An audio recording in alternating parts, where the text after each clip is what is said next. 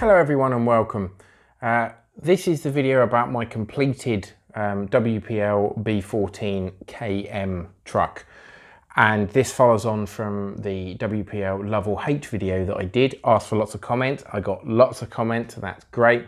So please check it out if you haven't seen it because it talks a lot about WPL and it's, it's, it's stirred up a lot of stuff which is brilliant.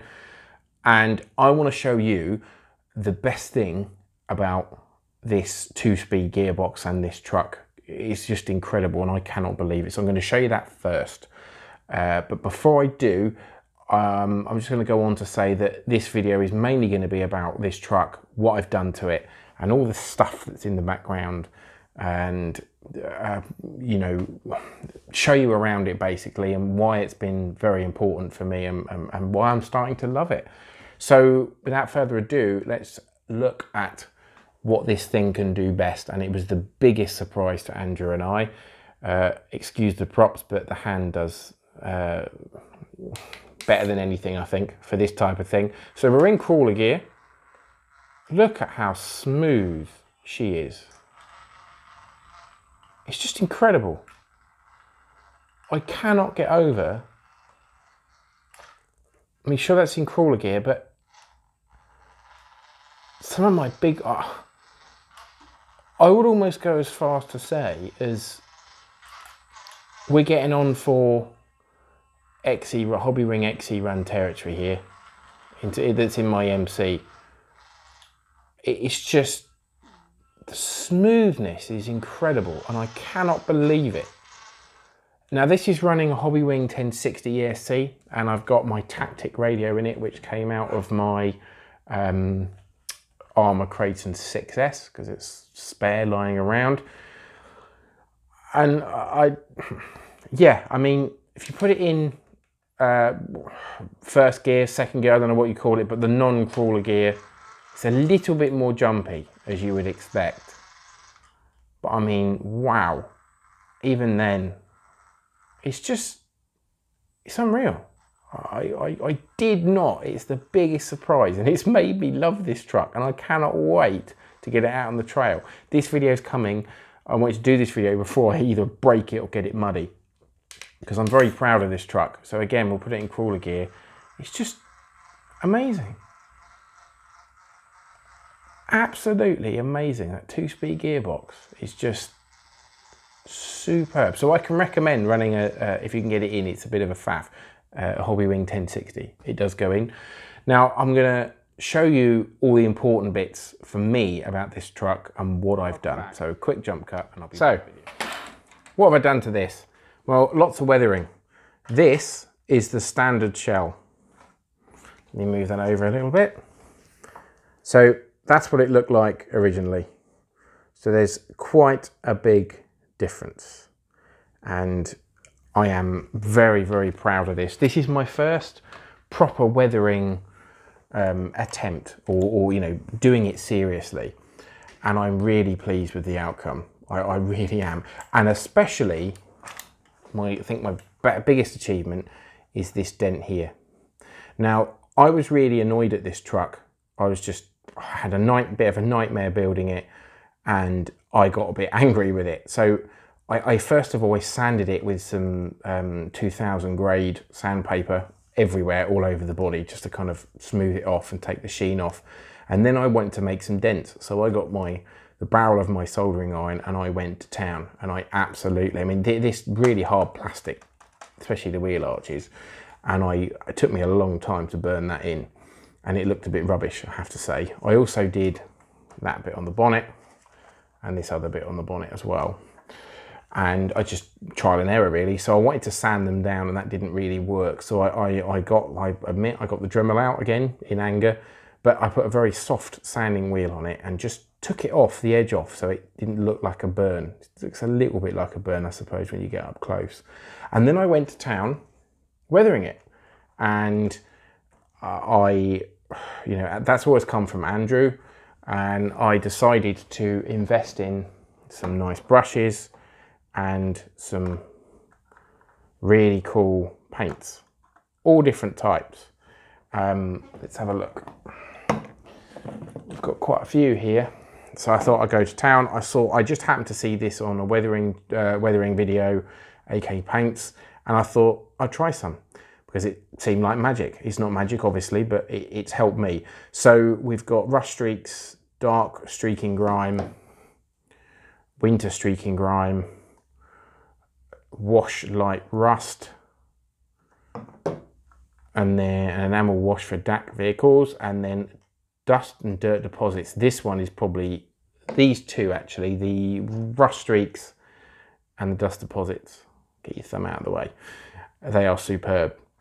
So I have used all of these paints on this truck in various locations. It's taken me quite a while to do this, but I've been very patient and I think, you know, I'm really happy with the outcome. I think Andrew's quite proud of me as well. And I think he probably thinks it's a bit much, but I quite like that kind of style. Um, and again, it's my first attempt. So I've just gone on over it in different areas, really, the different colors, just looking at pictures, wanting to make it look properly beaten up.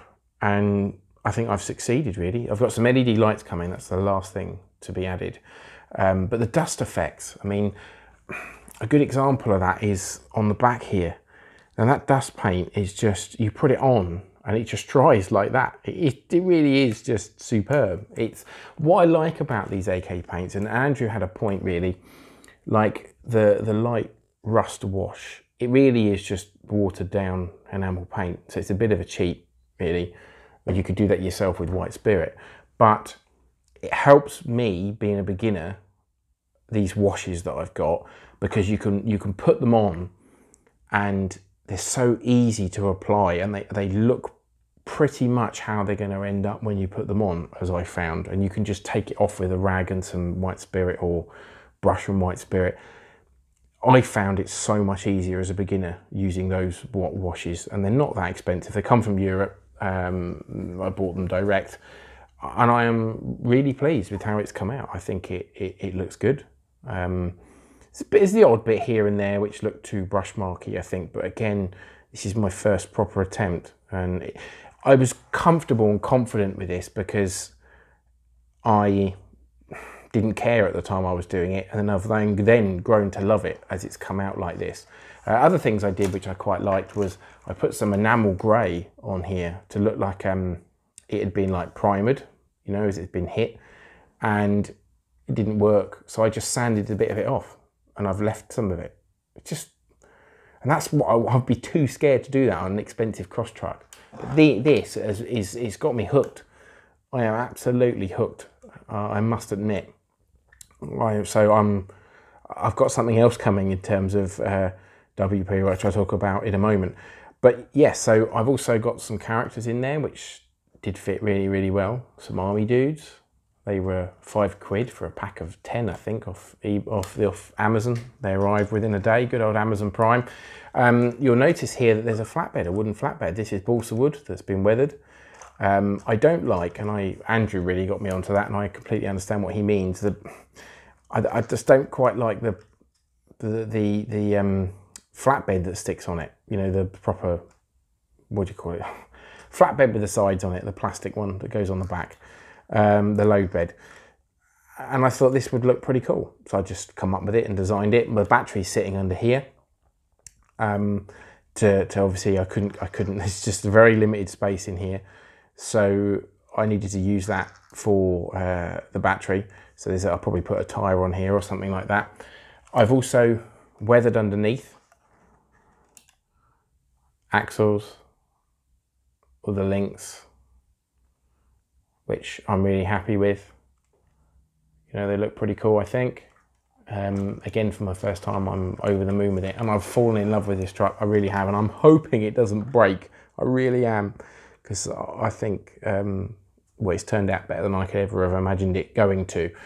Uh, just quickly, I will open the bonnet, and you can see in here we've got the 1060 and the Tactic radio. Now, what I've done to get those in, there are supporting posts underneath here um, that sit above the servo that this plastic tray sits in. So if you take the body off, the plastic tray bolts to the top of the chassis. I just cut the supports down because there was wasted space underneath there. I just lowered everything down and it meant that I could get my spare ESC and my radio gear in and it fits. So that was a bit of a pain, but it works well. One thing I will say is that Run That RC, uh, he commented um, on the Lovell HWPL WPL video and quite rightly said and noted um, that I had installed the gearbox the way around. Uh, in that video you can see the motor was pointing that way. Now I tried it both ways. Now the right way round is this way and he's quite right about that. But I had a problem. I don't know whether it was my kit or what, but the cutout on the underside of the uh, interior uh, wasn't big enough. So it was pushing the interior up and I wanted people in the interior. So I had the decision of either cutting away the bottom of the interior, which I didn't really fancy doing, or um, having the motor the other way round and having to cut away this little bit here of the cab, just the bit you see in here.